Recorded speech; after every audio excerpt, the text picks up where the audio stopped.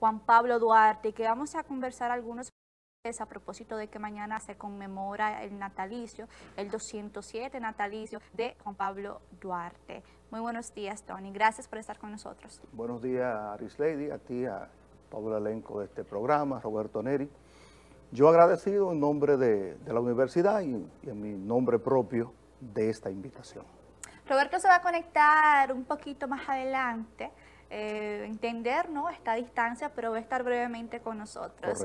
Eh, Tony, el legado que nosotros como sociedad, como pueblo, con una historia un poquito ruda, en todo el contexto de la palabra y pues a partir de 1844 se logra la independencia gracias a un grupo de hombres valientes. Eh, si hacemos un comparativo con la sociedad actual, ¿qué nosotros deberíamos aprender y practicar en ese sentido? Mira, yo pienso que nosotros como sociedad debemos seguir mejorando. No podemos caer en la blasfemia de decir que nos hemos deteriorado como sociedad a un nivel diferente de aquellos hombres. En aquel momento habían hombres como Duarte y los liberales y los trinitarios, y habían eh, perversos de la política y de la sociedad, los mismos que eh, desterraron a Duarte, los mismos que persiguieron a, y fusilaron a Sánchez, a María Trinidad Sánchez, a Duvergé, los mismos que acabaron con los propios principios de la República Dominicana. Lo que siento es que debemos seguir mejorando, porque aquella obra de Duarte que la soñó desde muy jovencito, que la plasmó en aquel documento del 16 de enero del 44, aquella especie de acta de nacimiento de la República Dominicana, aquellos principios que se soñaron, aquellos sueños establecidos en ese documento, yo pienso que todavía están truncos. Estamos en camino en algunos aspectos, pero hay muchos que todavía están inconclusos. ¿Sabe que yo le hice esa pregunta primero, antes de entrar quizás a la actualidad? Porque lo que puedo yo percibir, y seguramente muchas personas, es el hecho de que hay cierto, cierto deterioro en la juventud actual por varios factores, eh, como falta de inversión en la calidad educacional, igualmente los mismos rasgos culturales como es la música urbana, también el hecho de que los padres quizás no, no son como antes, tradicionales ni nada de eso. Entonces, en ese sentido, ¿a qué usted le atribuiría el hecho de que esos ideales de Duarte no, no estén tan presentes? ¿Es falta de voluntad estatal o qué? Mira, cuando yo estaba adolescente y ya jovencito en mi campo, asistía a grupos culturales. Y eso no se ve. Y en esos grupos culturales, Pascua Juvenil, Club Cultural y Deportivo, que era el día a día de los campos, nosotros llevábamos un tema a debatir y a veces uno lo ensayaba para, para aquel debate de ideas, de, aspectos. Y en el día de hoy, la juventud en un porcentaje altísimo tiene ocupado todo su tiempo. El que no lo utiliza por necesidad en una actividad que tiene que hacer, inmediatamente esa actividad merma, entonces tiene un pasatiempo favorito, que es este que está acá. Las redes sociales. Entonces, las redes sociales no son, un, no son malas en sí mismas, mejor dicho, no son ni buenas ni malas. Digamos, la internet que, es eh, aquel invento importantísimo de los años 90 que le llegó al público, tiene dos caras, un arma de doble filo. Tiene todo el conocimiento que tú quieras buscar en todas las áreas del conocimiento, pero tiene también, digamos, eh, eh, lo peor, la peor basura que tú pudieras encontrar si eso es lo que tú vas a buscar. es una labor de nosotros, los padres, los, los educadores, de alguna manera ir perfilando qué es lo mejor que pueden encontrar, porque no es estar en contra de esto, es unirse a ellos de alguna manera y ver cómo le sacan lo mejor que lo tienen a esto. Realmente se han perdido algunos valores fruto de ese, digamos, de ese desvío de la juventud dominicana, y tú has dicho algo importante, la música ha creado unos estereotipos difíciles eh, que conectan mucho más Hoy día hay que llevar una cantidad de merengueros para que vaya la gente y uno de esa música urbana, alguna pervertida, eso es, con malas palabras y escenas impublicables en los videos, ese solo llena todo un escenario. Entonces, esa inversión de valores pienso que tenemos que seguirla trabajando. Definitivamente, pero también me llega algo a la mente y ha sido el histórico hecho que se produjo, bueno, el año pasado ya en la Plaza de la Bandera, los, las distintas protestas en contra de un sistema corrompido, corrupto, y quienes encabezaron ese movimiento fueron los jóvenes. Sí, eh, fueron los jóvenes, es una muestra de que no todo está perdido, incluida la clase media y media alta, no siempre dada a meterse en ese tipo de, situaciones. Se le vio allí protestando por lo que, por lo que entendía en ese momento era una política totalmente errática. Eso le lanza un mensaje a todos los políticos de todos los partidos. El dedo acusador de la sociedad se produce cuando, cuando la política no es llevada de manera decente. Hemos estado cambiando, por suerte, como sociedad. Esa protesta fue algo totalmente diferente. Y pienso que tanto esa protesta como un tiempo atrás, la labor de, aquel, de aquella expresión social popularizada como Marcha Verde, sí. también dejó sus frutos. Y hoy tenemos una lucha diferente contra la corrupción, eh, contra la impunidad, y se cierne alguna esperanza en el horizonte de la República Dominicana. Pienso que no, que la desesperanza que sentíamos de que ya esto no va a cambiar, de que estamos hundidos, que pienso que las cosas son, son diferentes y están sujetas a seguir siendo diferentes, porque la sociedad no va a permitir que siga igual ya. Así es. Entrando ya pues en contexto actual, eh, mañana está supuesto a celebrarse lo que es el natalicio, nuestro patricio Juan Pablo Duarte, en un tenor difícil en medio de una pandemia que pues no ha cesado y nosotros tenemos el placer de vivir en la provincia denominada con su nombre, donde tradicionalmente se hacen eh, desfiles y una cartelera de actividades, y pues donde recibimos igualmente al primer mandatario o vicepresidente en su momento. ¿Qué planes tiene? Ya puede ser la universidad, usted me decía que no por motivo de la pandemia, pero la ciudad, la provincia, ¿qué hay para mañana? Bueno, realmente eh, el desfile tan florido, tan concurrido, tan masivo, que había no se va a celebrar en el día de mañana, es entendible que, claro. que sea así, pero de todos modos la Comisión Nacional de Efemérides eh, Patrias, una institución que, que, tiene que ver con este tipo de fechas y estos acontecimientos, sí tiene previsto que se haga mañana una actividad. Va a ser sencilla en el Parque Duarte, las principales autoridades, eh, las universidades, las instituciones sociales van a estar debidamente representadas con el distanciamiento del lugar, eso sí, pero habrá un, evento eh, en el Parque Duarte frente, frente al busto del, del patricio, donde habrán eh, las palabras de algunas autoridades y sobre todo la entrega de una ofrenda floral para no dejar pasar desapercibido una fecha como la de Y mañana. mantener la esencia de Y la más, actividad. eh, Arileida, con estos cambios que han habido a partir de la ley que, que cambió los días eh, de, de fiestas legales y religiosos, eh, con estos cambios eh, Adelante, adelante, me escucha, veloz. hace que a veces eh, eh, el- a la gente común se le pueda trastocar cuál es el día real. Sí. Si es el que se celebra en, en los hechos o es el que le ha impuesto la ley. Entonces en un día como Entonces Duarte- usted no está de acuerdo con esos cambios, específicamente en días tan significativos. Mira, hay dos cosas. Primero, yo estoy de acuerdo con cumplir la ley. Esto es una ley. Yo como abogado y formado en ese sentido y como educador no puedo decir que no se cumpla. Ahora, debería modificarse. No es posible que el Día del Patricio, el día del más insigne Claro. de todos los dominicanos, se celebre otro día. Mira que es extraño porque el día de la Constitución, día de la restauración, el día de la Constitución sí se cambia realmente. cambia, pero el de la restauración no, se, cambia, el, se 27 cambia el de 27, febrero. Ni los días religiosos. El 21 de enero no se cambia, no se cambia.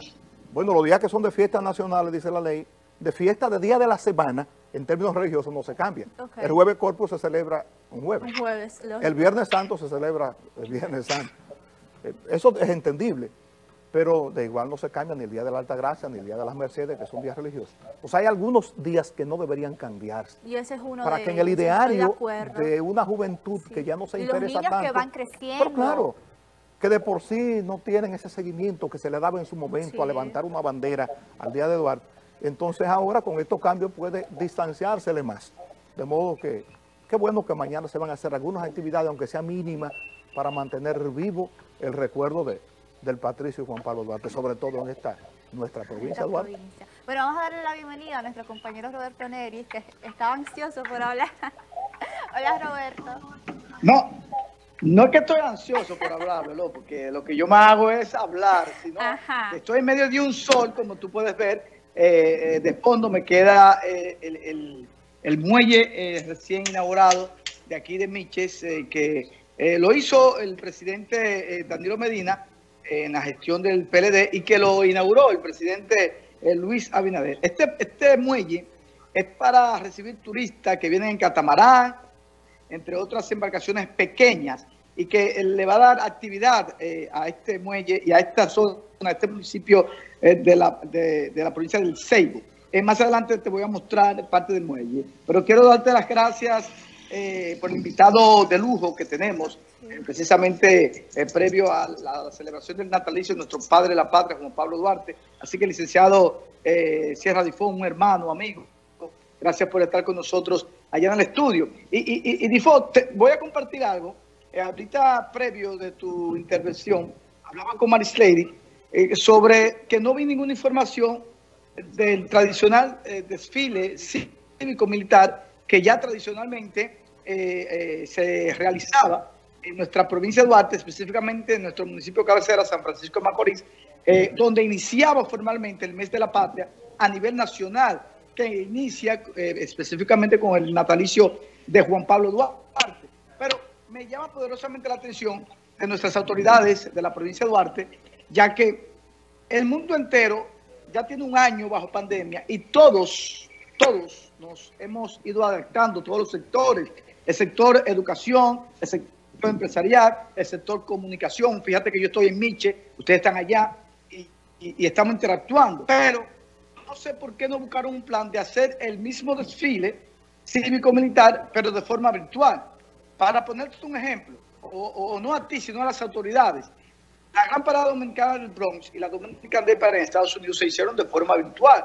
Eh, ya el carnaval de Santiago, el alcalde eh, Abel Martínez anunció que se va a llevar a cabo de una forma entre, entre si se quiere, virtual, porque no podemos detenernos, tenemos que adaptarnos a la situación que estamos viviendo con esta pandemia que ya tenemos un año. O sea, que ya la pandemia, el COVID, es parte de la vida diaria de nosotros. Entonces, ¿por qué las autoridades de allá no hicieron algo? Fíjate que el alcalde Cicuenas de la Rosa, en medio del COVID, realizó el reinado Santa Ana.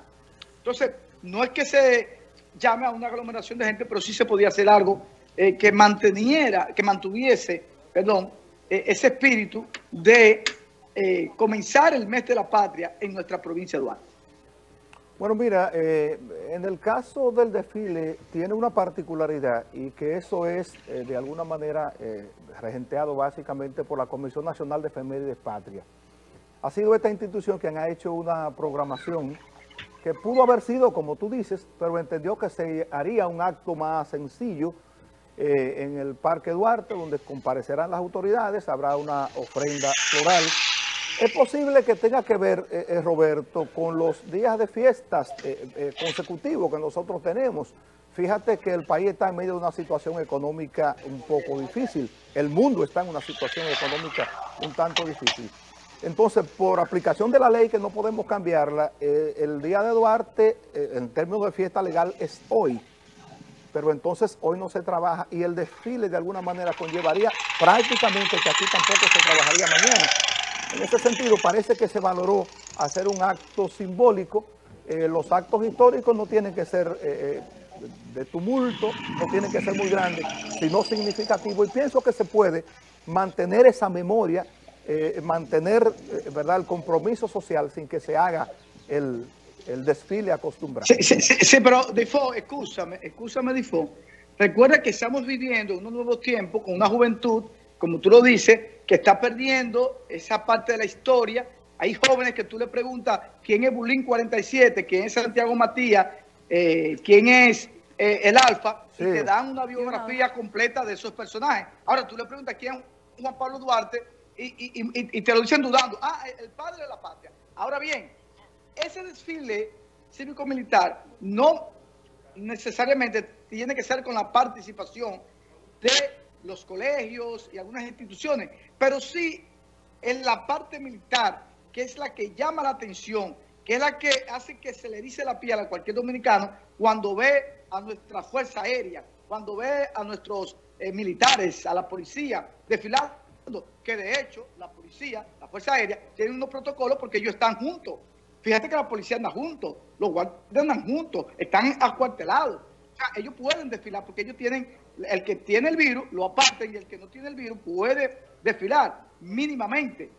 Eh, te lo digo, no es por el ARA de que si no se hace el desfile cívico-militar no, no, no hay celebración de Duarte, no.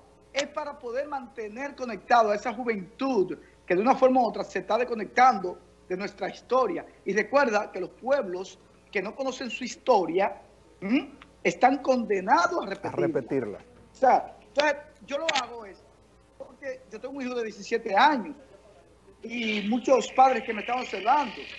¿qué pasa? Cuando tú le metes a, estos tiempos cosas que le interesan a la juventud, pues de una, de una forma u otra ellos los buscan en Google o preguntan, ¿y, por qué esos aviones? ¿Y por qué esos tanques? ¿Y por qué esa descarga? ¿Y por qué esos militares? Porque llama poderosamente la atención, principalmente la parte militar. A eso me refiero, que se pudo haber hecho incluso menos, los aviones pudieron haber eh, volado los cielos de la provincia de Duarte, igual que los helicópteros. Fíjate que en la pandemia hubieron varios helicópteros, una iniciativa del ejército de la República Dominicana con las banderas en grande, y eso llamó poderosamente a la atención a la juventud principalmente y sensibilizó a una, gran parte del pueblo dominicano en tema de la pandemia para eh, eh, realzar ¿no? la moral, realzar si se quiere, la autoestima del pueblo dominicano. Bueno, eh, eh, mira, eh, mira Roberto, a propósito que tú decías que, a la juventud se le pregunta por varios exponentes de la, de la música urbana, no solo a la juventud, hay algunos viejos también que están muy claros que les gusta ya más que, más que a la misma juventud ese tipo de, exponentes. Con relación a lo que tú planteas, pudo haber sido, de todos modos, para tu información y del público que,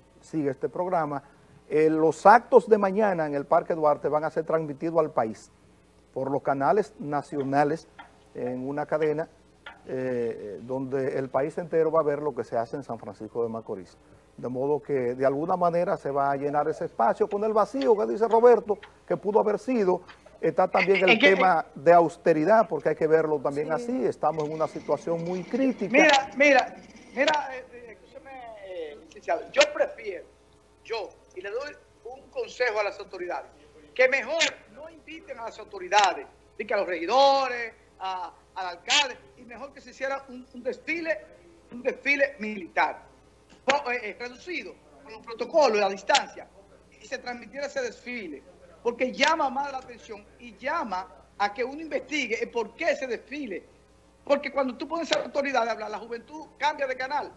O sea, un contenido, ese contenido de mañana va a ser para ti, va a ser para mí, va a ser para Veloz, que está en estos medios de comunicación, pero un joven de 20 años para abajo, hay pocos, no digo todos, pero la mayoría no le va a interesar ver ese contenido. O sea, te lo digo es, y, no de una forma que yo estoy criticando lo que se vaya a hacer mañana, excelente el esfuerzo que están haciendo las autoridades, sino es aportando una idea, para que las autoridades que tenemos, no solamente en la provincia de Duarte, sino a nivel nacional, entiendan que tienen que buscar códigos, contenido que llamen a la atención de la juventud de hoy en día, porque es una juventud que está totalmente conectada, buscando contenido eh, diferente al contenido que lo tenemos acostumbrado. Fíjate que, el éxito que ha tenido la, la educación virtual, al principio todo el mundo estaba renuente, pero los niños y la juventud han conectado mucho con ese tipo de educación porque le están dando algo diferente, no lo monótono. De todo modo, de todo modo, Roberto, usted y yo esperamos que próximo año no sea necesaria esa virtualidad porque haya cesado ya la pandemia y se pueda volver a ese desfile como siempre se ha hecho en San Francisco de Macorís. Esa es mi esperanza, no sé. Yo espero. Mira, Veloz, eh, eh, agradecerle a nuestro invitado por el tiempo que sacó para compartir eh, las cosas que, se, que, se han perdido y las cosas que estamos recatando sobre lo que es el comienzo del Día de, la Patria, o el mes de la Patria, mejor dicho, que comienza con la conmemoración del natalicio de nuestro padre de la patria, Juan Pablo Duarte y Diez. Vamos ahora a una pausa porque quiero, antes de irnos, ir al muelle de aquí de, de, de Miches, para aprovechar. Miches es eh, eh, un municipio muy conocido por muchos franco-majorizanos, principalmente por el tema que